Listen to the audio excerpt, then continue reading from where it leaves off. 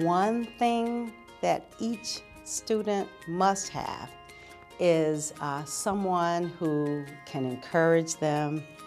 can influence their thoughts, but also provide them love and encouragement, and at least be one person that they wouldn't want to disappoint.